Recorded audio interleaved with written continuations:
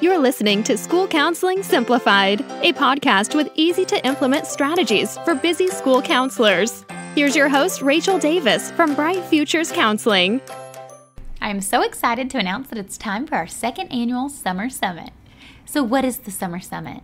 This is my virtual conference for school counselors, and we have 15 amazing specialists, and they're going to cover a variety of topics. Guys, you're going to love this. We have everyone from behavior specialists and therapists to trauma and inclusion experts. And of course, you'll be hearing from your fellow school counselors. Some of the topics cover leading courageous conversations through restorative forums, from burnout to balance, how to use summer break to strategize your burnout prevention and recovery three joyful ways to center equity in your counseling practice, and tackling undesirable behaviors, helping teachers make classrooms thrive. You don't want to miss this. This is the perfect thing to do over your summer break to get you excited and ready for an awesome school year. So you might be thinking, yes, this sounds amazing. How do I sign up? Well, this conference is exclusive for Impact members, but no worries, you can totally join us. For $29, you can get your Summer Summit conference ticket plus your first month of Impact. Go to stressfreeschoolcounseling.com slash summit to check out the awesome lineup and all the details. The Summer Summit starts on June 20th, so hurry and check it out. Believe me, you don't want to miss this. Thanks for listening to School Counseling Simplified. Today, I have a very special guest on the podcast. I interview Laura from Positive School Counselor. Laura is amazing. She is all things picture books. Y'all, she is truly the expert in this area. I had some questions in mind and thought we were going to chat about a few things, but she blew me away with her knowledge when it comes to how school counselors can use picture books to enhance their counseling sessions. Like I said, she's really the expert in this area and she shines in this podcast. You're going to love this episode. And Laura is presenting at our summer summit on this topic as well. So, this is kind of a little sneak peek teaser of what her presentation is all about. You're going to love the session with Laura. If you haven't snagged your seat at Summer Summit yet, please don't hesitate. It is right around the corner and we cannot wait to check out our awesome lineup of presenters and get all the details, go to stressfreeschoolcounseling.com slash summit. Okay, let's check out today's episode with Laura. Hey, Laura, how are you today? Hello, I'm doing well, thank you. It's so good to talk to you and to see you. We were just talking off air a little bit about the ASCA conference because I got yep. to meet you in person there. I guess it's been two I, years ago in Vegas. I know. I was I yes, I was just reflecting on that today. It feels like so long ago, and it was so good to finally meet people in person. That's like what I love about the ASCA conference, getting to meet people in pe- like in person. I know, I know, and I'm going this year in Atlanta, but you're not, so I'm bummed. I know. uh, but tell us a little bit about who you are and your background. Yes. So I'm Laura Filtness, and I have been a school counselor um, for a very long time where I have to kind of get in my calculator and do the math. So since 2008, I have been a school counselor. I got my master's degree at MTSU in um, Murfreesboro, Tennessee, and I'm still in Tennessee. I had grand plans to leave, but I'm still here and a school counselor um, in Knoxville, and I work on the board for the Tennessee School Counseling Association. And um, my coworkers were teasing me this week because I had 153 hours of PD last summer, and I was like, I just love all things our our job. Like I love right. to read about it, I love to listen to podcasts about it. So kind of dorky in that way. That's amazing! Oh my gosh, that is so many PD hours. Um, yeah, and too many probably. yeah, I love it though. I love it, and I know I'm sure so many people are benefiting, so many kids benefiting from your investment. Um, yeah. No, I'm seeing the listeners obviously can't see you, but you have on a book nerd hoodie right now too, which is perfect. I, I thought it was perfect because I knew we were going to be talking about books and I wanted to get into that like headspace of how much I love books. Like I am a total book nerd. yes, yes, I love it.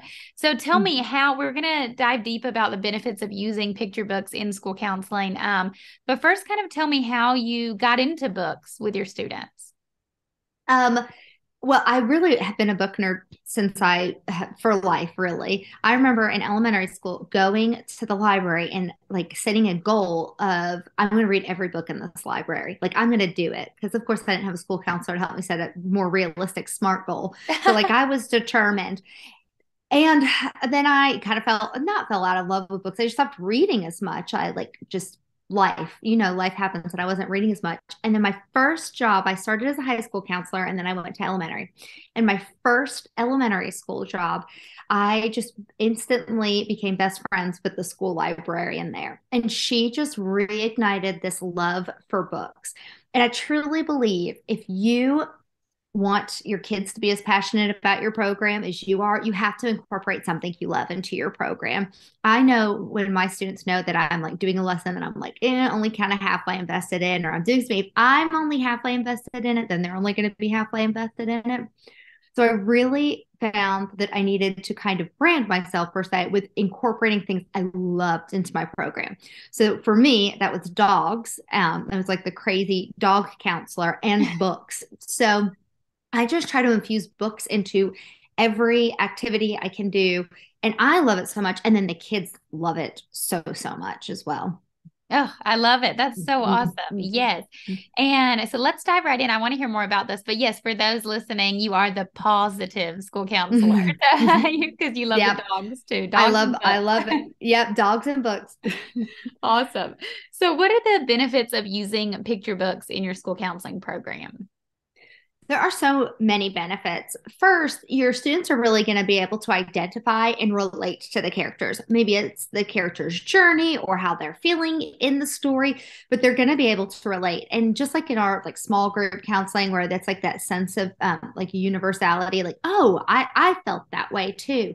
So they can hopefully identify a time they have felt that way or a time that they have um, had an experience like the counselor, so they can see it in themselves. I also think they provide great insight, um, awareness to some maybe some feelings. Um, so quick my students are to say, I've got anger management issues or I've got anger problems. So I love bringing out books to talk about different ways to look at it. Maybe you're feeling lonely or left out and you're not really angry. So I think it provides a lot of great insight. And depending on the right book, you can really identify potential solutions to problems um, and really teach skills and also is sometimes just really cathartic to just read about a book and to go oh my gosh yes i relate and i have all these emotions that somebody's helped me identify and i can relate to it. So there are so many benefits to um, books. I remember a couple of years ago i had a teacher um, that was at a staff meeting that said, I just don't think our kids like to read anymore. And that's why our reading scores are going down. And I was just like, well, I don't think that's true at all. I think we're just, you're not reading the right books to mm-hmm. them. And I will say, I think that's really true. I think picture books, especially, are ageless, they're timeless. And I can't tell you how many times I've got to the end of a picture book and my students start clapping and I get goosebumps because I'm like, I know I loved that book too. so, it's not only helping them with their their literacy which we know all schools are working on their literacy but you're also working on their mental health literacy.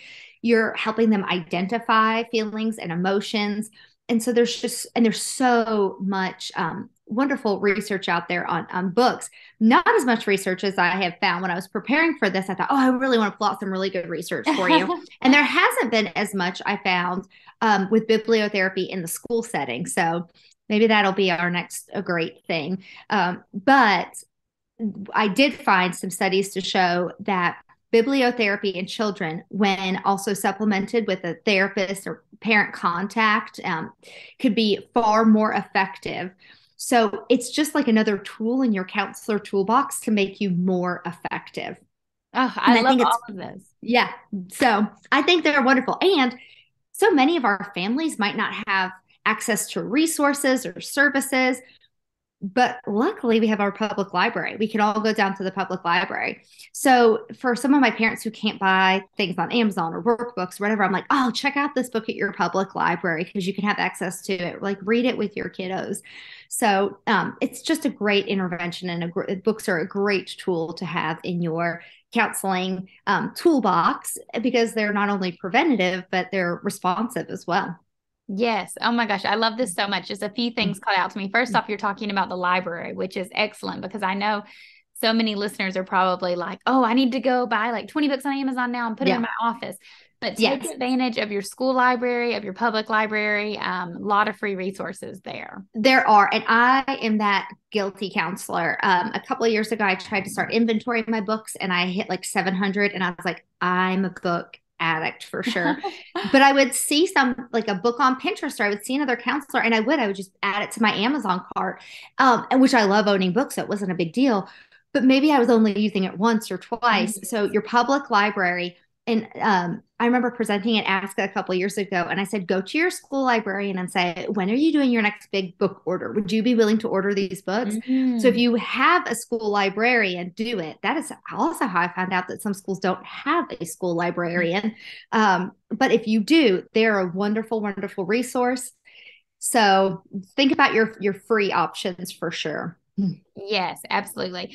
I know. So I'm I'm in Costa Rica and we actually don't have like a public library system, but my neighbor is spearheading this like community children's community library and I'm helping with it. And I'm yeah. thrilled because we can finally I've been spending so much money on books and then I'm like ordering them in the States and putting them in a suitcase and they weigh a ton. So Exactly. And I have worked with our PTA. We at several schools, we've done a little free library, mm-hmm. and you would be amazed. Um, if you're in the United States, Dolly Parton's free imagination yes, library imagination is library so good. I'm gonna get in trouble for ratting on myself, but I signed up my youngest dog for her for a oh Parton's. um, but there's so many resources. I mean, like just googling free books. So like I'm working with your PTA and your community, and then I've actually been um, very proud to say I've written a couple grants where I included book mm. titles in them as well. And so even if you're not a grant writer, go to your school librarian and be like, I've been thinking about writing this grant and I have a, a librarian friend who wrote a library grant to include more trauma informed books in diverse diverse books in her uh, library, and she worked directly with the school counselor to pick out titles. So oh. it doesn't have to be just be you. Right, right. This is amazing. I love it so much. And the librarian, I feel like mm-hmm. kind of like our profession, they probably feel kind of like they're on their own island and isolated. Yes. So they're yes. probably like itching for some collaboration too. Yes. Oh my gosh. I collaborate with my librarians as much as I can. Um, I still talk about this lesson to this day. My um, best friend Sarah Swarta and I, we collaborated on a book, I'm Bored by Michael Ian Black and it was one of my most favorite lessons. It's about a little uh, a girl who meets a potato and she's just i'm bored i'm bored i'm bored. And like the whole thing is like how can she problem solve? Is she really bored? It, it was so fun. We did it right before summer mm-hmm. um, and we told the kids we were going to pick one student that was the best listener in every class to win a potato. And we literally just had a potato in a, a lunch bag. And then that student could um, at the end of class, let me go back at the end of the lesson, we wrote down all the things they could do in the summer if they got bored um, and all the things they could do with the potato. What would they do with the potato? And some kids were like, take a bubble bath with it, turn it into a pet dog. I mean, just wild ideas and then that the kid who was the most well behaved got to take home their potato. And then if they had time before the end of the year they did something with their potato. They could share it with us. And i cannot express to you how like engaged those kids are in this lesson to win a potato. So collaborate uh, but it was such a fun yeah. team lesson to teach about problem solving and resiliency and coping with that feeling of being bored. So yes it's collaboration is key. I love that. I love that so much.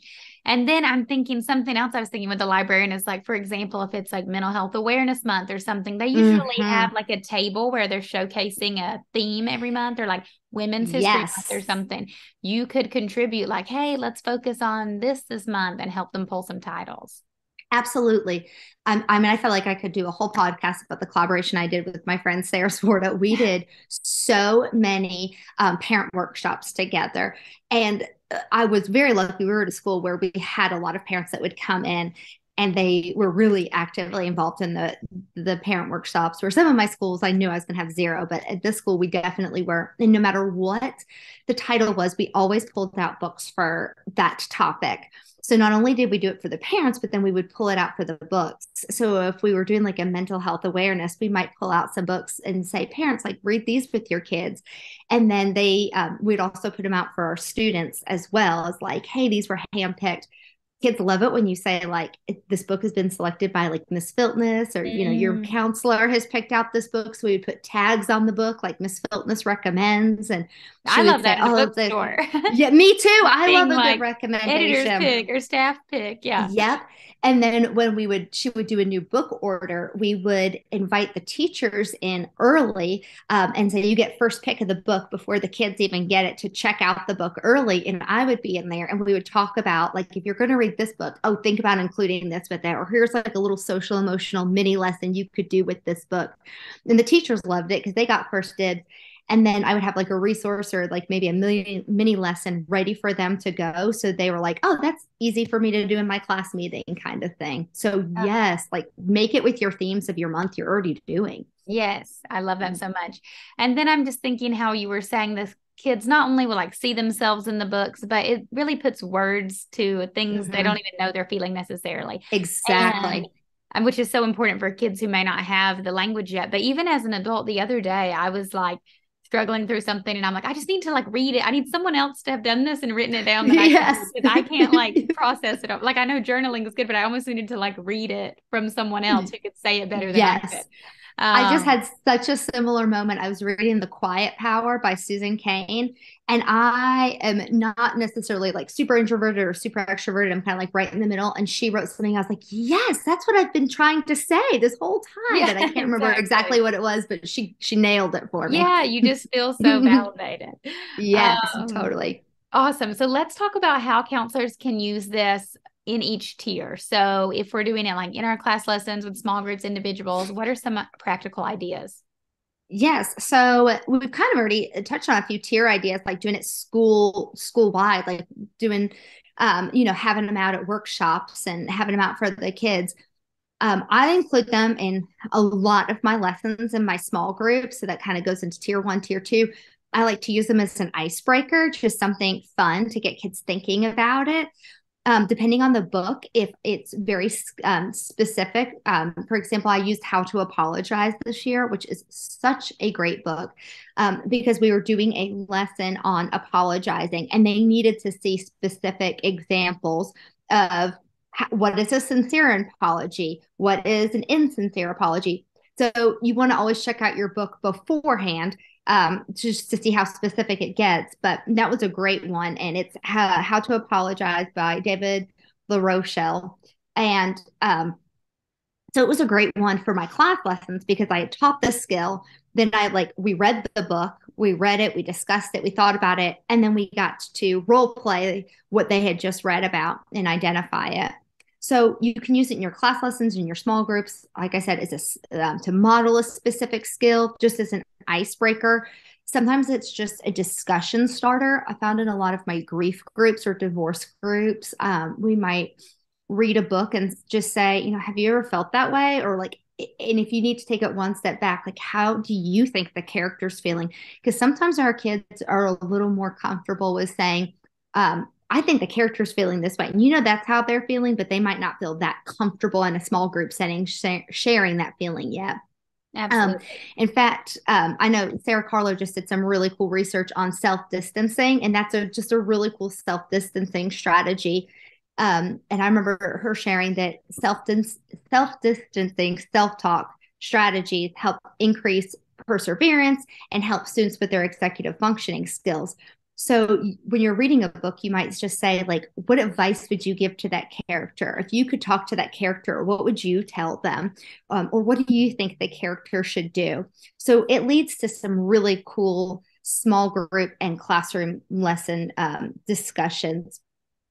Another um, fun character ed one I did for years, we would have mystery readers. So this was kind of a tier one I would ask my teachers, I would pick a book that was related to our character education trait and I'd ask them to be our mystery reader. So they would read it, but they would record themselves kind of hidden. I had one teacher who went all out with this, like sat by a fireplace and you could just see the fire and the book. And at the very end, she panned out to see her face.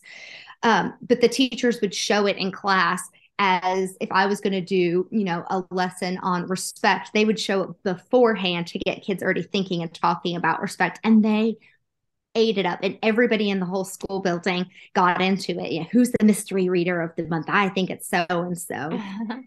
Um, and then, of course, your last tier, you working with individual kids, you can use it when you're just reading one on one with a student. Mm-hmm. Um, sometimes a student will just be talking to me and I'll be thinking, oh, that just reminds me of a book. And I'll say to them, like, oh, that reminds me of a book. Have you ever read this book? Like, let's read it together. Um, I think you always want to be careful when you are reading books with children individually. Um, so I always caution you as you're picking that book because you wouldn't, um, especially your characters with that are neuro, neurodiverse. You don't ever want the students to feel like they have a problem and you're reading this book to fix them or that the character needs to be fixed. So whenever you're thinking about which book to pick, always think about your audience um, and then always think about how and if it will validate that student experience. I love that. That was my next question is how do we know which books to pick? I mean, for that reason is excellent. And then also just because of the sheer volume of options, how do we know where to start? Oh my gosh. There's so, so, so many. Um, and so I always suggest you choose carefully if you're looking to books to add to your library shelf, go to your library shelf and see what you already have books on. I would bet most of us have a wide array of books on anger. I mean, I have just so, so many books on anger because they're so easy to find. Um, but maybe I have less on grief or I have less on a specific topic. So look at your library shelf, look at what topics you already have a ton of books for, and look where your holes or your gaps might be and then compare that to what your needs assessment is saying, what your referrals for were next year, because it's so easy to find a cute new book on anger management. But if you're not really seeing kids about that, then you're just buying a really cute little book, mm-hmm. um, which is fun. And but will you use it? So be thoughtful um, before you purchase your book. But then also making sure it's current. Um, you can use uh, websites like Goodre- or Goodreads and um, Common Sense Media to just check out um, you know, parent reviews or parent concerns. Make sure it's really relevant to your your population. I remember um, reading some of my most favorite books for years and years and years, and um, it just maybe doesn't as relevant for my kids now. For example, um, Each Kindness by Jacqueline Woodson is still one of my favorite books. I still whip it out every year but the story is about a girl who's being teased because she's wearing secondhand clothes. And my kids can resonate with the character, they can resonate with the teasing. But thrifting and secondhand clothes have become so cool and popular now. That part of the story, they're just like, but why? Why would they yeah. tease her about that? Like it used to be, you know, almost embarrassing to have something from Goodwill, and now they're like, yeah, but that's that's where I shop. I'm like, I know. Yeah. So think about it, it, its relevance to your specific population mm-hmm. that you're working with. Um, always, you want to pick materials and books that embrace culture and respect and um, that are inclusive and then I always think as I'm reading a book, is this character portrayed in a way that I agree with or I disagree with, or would I want my students to generalize with um, mm-hmm. if they were making a teaching point? So be thoughtful about those characters.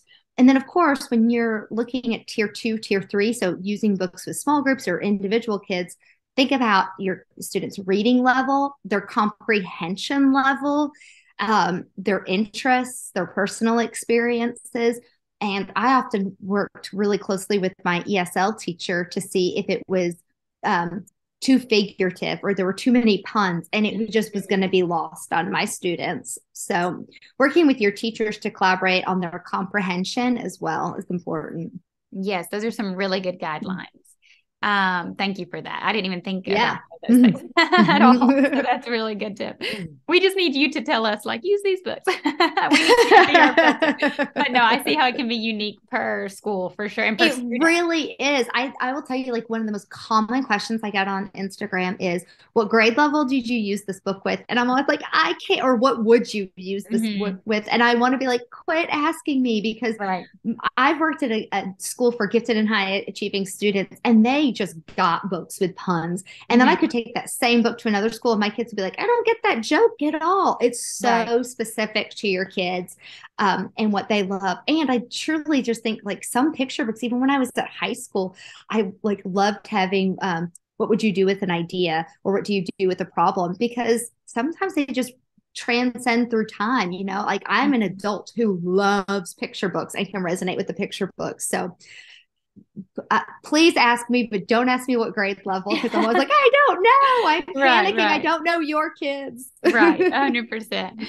Um, awesome. Now let's talk about companion activities. So if we are going to create a class lesson around mm-hmm. a book, if we're doing, let's say, like bullying prevention month we have a book and then we're going to do like companion activities what do you recommend i mean first things that are coming to my mind are like discussion based activities but do you have yes anything specific and um, i'm going to do some pds this summer on exactly that on how to make those discussion based things cooperative learning activities um, how you can instead of you just asking the kids and they're talking to you or our um, turn and talk how you can use cooperative activities. So where um, they're playing ask, ask, switch to discuss it. Of course, scoot and scramble is one of my favorite things. If like say we're doing a, a bullying book, maybe I take examples or situations from the book um, and I write them out on cards and maybe add to it. And then the students have their scoot scramble page where they go around and they have to identify was that bullying or not bullying? Um, just so to check their comprehension that they that they understand that definition of bullying. Um, and scoot and scramble i can talk a lot about but it's just where your students are moving around the room and looking at those discussion questions that you would normally ask them and they're they're reading it um, task cards is really what i was going to say you can do so many things with task cards um, for almost every book I have, I try to make a set of task cards because not only does it help me guide my reading, but we can do so many cooperative activities afterwards. Teamwork games are always super fun to partners with books. Um, role playing is always really fun. Um, so, role play, coaching through modeling that skill that they talked about in the book. Yes, I love those activities. So, your mm-hmm. scoot and scramble is that because I do scoot games, so I just call them scoot games. I'm wondering if I'm missing something with the the scramble. Okay, piece. so scoot how I was always learned it was the the kids would have like a row of their desks, and you would scoot to the next desk, like mm-hmm. you would go in order from like desk one to two right. to three um, which is great. Scramble is more like I put the cards around. I'm gonna just let you go. You can go on your own time, okay. your own free will. Instead of giving a designated time to go from task card one to task card mm-hmm. two, you kind of like have free reign. And I find that's really good because I have some kids that are slower readers some kids that get really hung up on one particular mm-hmm. question. And there's something very exciting about like I've hidden, but I haven't really hidden the cards. I mean, they're out there, obvious, but I'm like, they're around the room. Go find them. And they right. they love that kind of free reign of going. Mm-hmm. So I used to do scoot a lot. Um, but also depending on your classroom, I uh, ended up in a classroom the last couple years where we had no desks. I had mm. my own classroom; they came to me, but we had no desks. So scoot was very hard. So we started to scramble. The task mm-hmm. cards are there. Go scramble, and they loved it. oh, I love that! Great idea. Mm. Okay, so you've already mentioned some great recommendations, and you'll have to send me all these so I can link to them in the show mm. notes. Um, but what are your top three favorite books to use with students? This is five. I know. I I once tried to do a blog post on my favorite books, and I got to the end. It was like, well, I basically just said all the books. Um, it's really hard. I try to always just share my current new favorite finds um, on my Instagram because there are so many. But if you were like going to force me to like pick, I will say um, I linked to all my favorites on my curriculum map too because I love to partner books with um, with uh, my classroom lessons, but the bad series, I have teased that Jory John has basically given me my curriculum for third grade, and he continues to write more. And I don't know how I'm gonna do more lessons in the year, but it's um, the bad seed, the good egg, mm-hmm. the smart cookie. He has a new one coming out that I'm so so excited about. So that whole series is phenomenal. Um, similarly, Michael Ian Black has the um, I'm bored, I'm worried, I'm sad series. And I love a series with um, a group of students because you can use it like each time I go back, I can like build upon it and they love it. They're like, oh, we just read the last one in this series. I'm like, I know. Um, Trudy Ludwig always has some of my favorite titles. So I know it's not a specific title, but it is a good author. Um, the Invisible Boy that she wrote, I read every year. I think it's just so amazing. And um, and she wrote Sorry as well, which is a great book. And then if I had to pick one book, I think every school counselor should own it is The Rabbit Listened. Mm. I think um, The Rabbit Listened is such a phenomenal book on introducing your role as a school counselor, how you're not there to fix, you are there to listen. I use it with my fourth graders to talk about how we can be a good friend and mindfully listen. That's a super fun one for my kids to tell me how they um, how they treat each other. Are they more like the the snake in the book that's plotting to get revenge when their friend is hurt, or are they more like the hyena? They try to get their friends laughing when their friend is having a bad day. Um, and it's also a beautiful book to use in grief groups. It's just a book I pull off my bookshelf over and over and over again. And I'm so fearful of losing it that I have four copies because I love that book so much.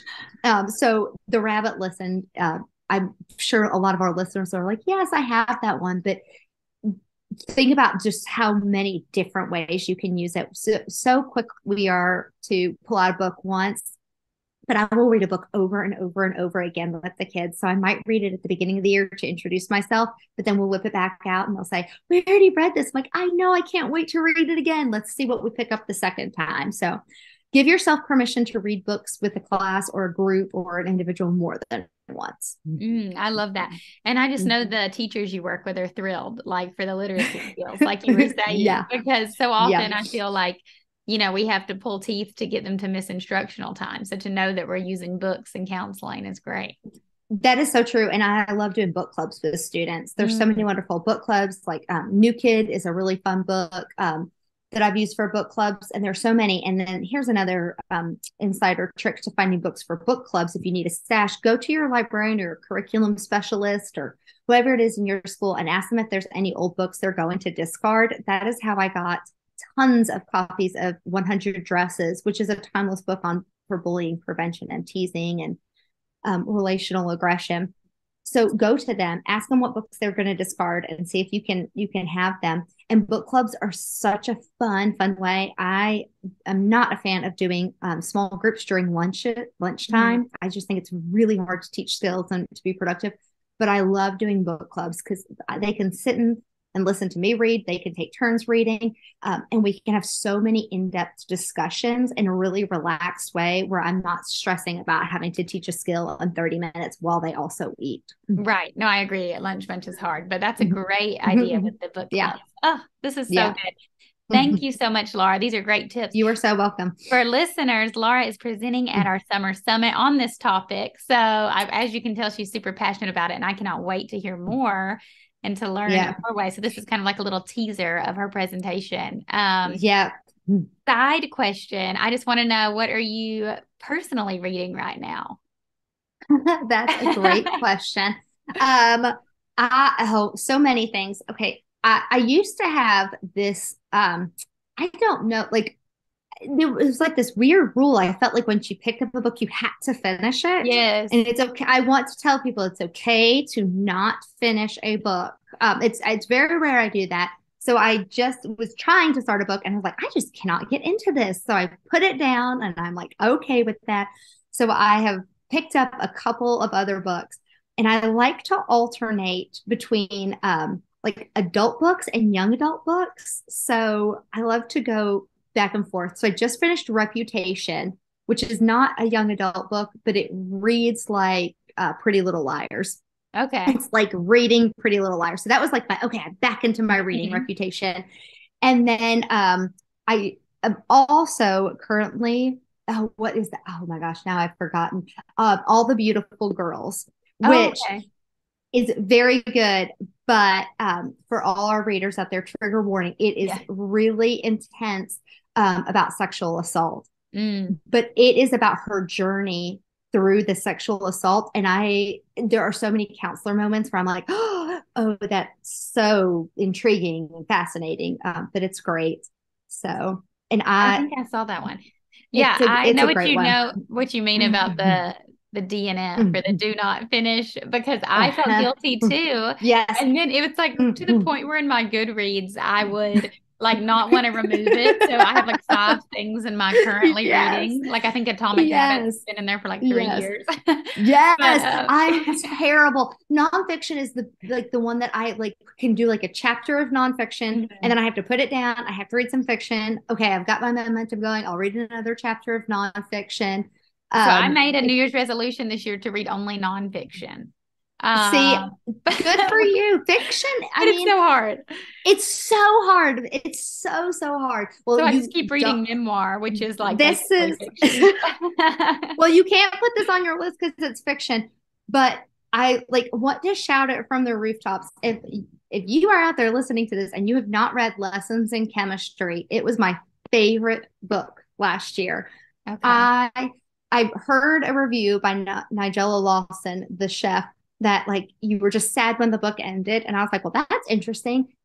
And it was. I slowed down on reading it because I did not want that book to end. okay. But it is fiction, Rachel. It's fiction. What so you have to read it in 2024? 2024. Yeah. Oh my gosh. Okay. Well, thank you for sharing. No, that's good. No, the the fiction thing's been tough to the point where I was like rereading something, and I was like, "This is silly. Well, you know, I think my my nonfiction go to is Brene Brown. I Mm, just so good. so oh, I just love all things Brene Brown and Mhm. Yes. And then there's every once in a while, I always think this is a book that we've all read, but just it, I realize maybe somebody hasn't. But The Body Keeps Score is Oh, a great one for Mhm. counselors that are into nonfiction. So if there's anybody out there that's not read that, um, I actually got to hear Bessel speak at a conference a couple years ago, and it was amazing. Yeah, I So read that those are one. my nonfiction recommends, but I, that's not my genre typically. Awesome. Awesome. Well, thank you so much for your time, Laura. This is fascinating. So many good ideas. This conversation went like above and beyond of what I had planned. So thank you. Well, I can't wait to present at your conference because there's just so many wonderful things we can do with picture books. I'm excited to share all those ideas. Mm-hmm. Awesome. Well, thank you so much. And where can the listeners Thank find you. you if they want to see your Instagram and your book recommendations? Yep. So it's pawsitive school counselor, P A W S, like pause, Mhm. Sativ school counselor. And that's what I am on. Instagram is probably my most active. Um, I'm like aging myself when it comes to social media. uh, but I do have uh, like a Facebook and an Instagram, and sometimes I remember to TikTok if I'm feeling super young. Um, and I also have a blog that's just pawsitiveschoolcounselor.com. awesome. We will link to all Mm. that in the show notes, and you'll have to send me your books that we've chatted about in this episode, and we'll link to everything there as well. So Yes, don't forget to remind me. Oh, okay. Thank you so much. Thanks for listening to School Counseling Simplified. You can find the links from today's episode in the show notes. If you'd like to connect with Rachel, she's on Instagram and Teachers Pay Teachers at Bright Futures Counseling. Be sure to subscribe to the podcast so you don't miss any episodes of School Counseling Simplified. Talk to you next week.